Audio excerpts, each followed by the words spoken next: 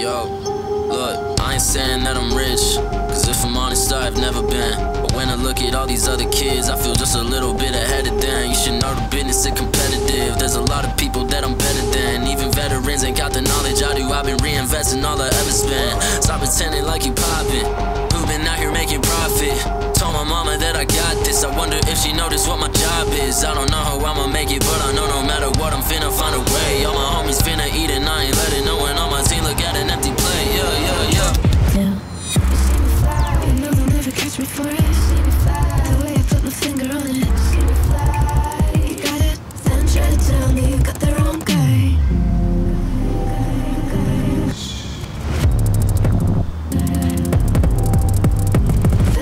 Tell me you got the wrong guy